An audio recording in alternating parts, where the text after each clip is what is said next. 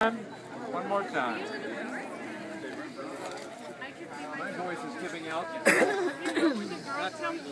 this, gonna, this is to be the last, okay? I just want to talk about. I want to talk about when,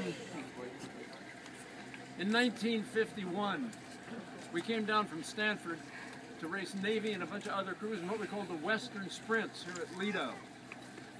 And it was very different then. I looked around, I thought, God, what a great place to row.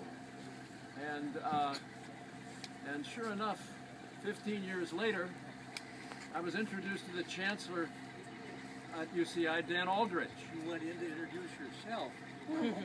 you went in to introduce Oh yes, yourself. I, I went in to, to see Dan Aldrich, but I had him uh, and um, and I told him what a great place it was to row, and he agreed, and uh, he said, you know, if if you're so interested in it, why don't you put together a group of people, and whatever money you raise, I'll match it. Now that's a sport.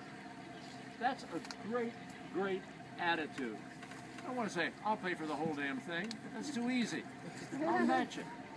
So I got on the phone and I called 15, 20 of my best friends, of whom we have two representatives left John Starr and Frank Jameson. Frank was my coxswain. That's where he and I got to know each other up at Stanford. John graduated two years later and has had a wonderful career here in Orange County with Latham and Watkins and retired. I hate to say that. But when I talked to them after I was, when Pudge agreed to give us that boat, I thought, wow, we're on a roll. and so I called Frank and I called Bill Lund, who was another of the founders, and uh, John, and we each agreed to co-underwrite the new boat. So in, in you know like 18 months, we got three beautiful, beautiful new boats, and uh, and I think the women get a new boat next year. So so it's it's a great step to have things like that. And so I'd like to ask for a hand for John and for Frank and for all the adults.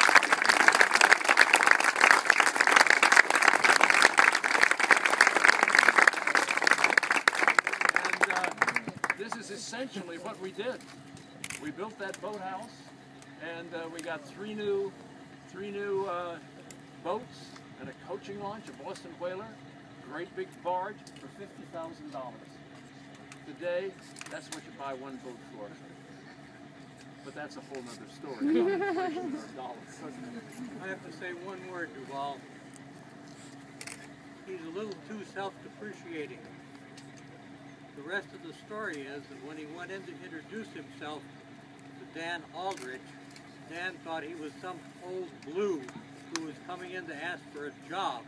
well, he was coming in to ask for a job. He asked Don to let he at last asked Dan to let him be the unpaid coach of the first crew at Irvine, and this was the year before campus opened for freshmen. He wanted oarsmen on the water to compete other colleges in their very first year at UCI, and that's what happened. So it was a wonderful, wonderful thing, and I remember it distinctly because it was the first time anybody, at that time I was a very poor young lawyer, it was the first time anybody had gotten me to give a thousand dollars to anything, and there it was to the regents of the UC uh, campus, and I was a Stanford alum. Okay,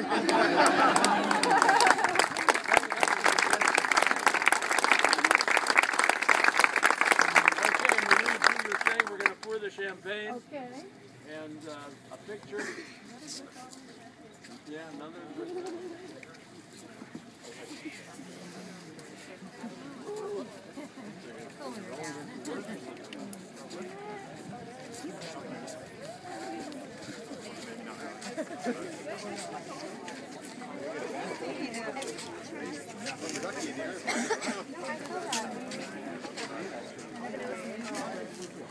And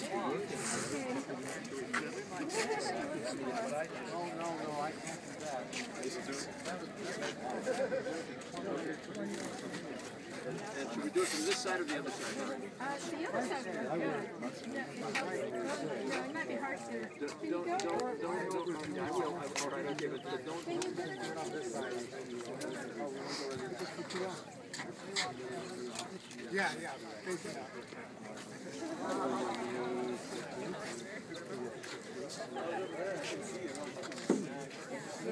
I was so impressed when I was up at Washington training for the Olympic Games. They had a boat, well, they have hundreds of boats in that boathouse, but one of the boats was called Loyal Shoudy. I never knew whether that was his first name or whether it was because he was a terrific alumni. But when I thought about this boat, it was the Loyal Founders. I love to carry on the tradition. Thank you, John. Thank you.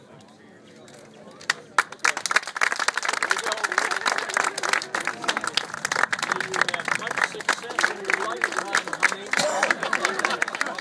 you carry only wonderful fruit. May they never know the taste of alcohol during their collegiate years. Always be in their own bed by midnight. And there it is.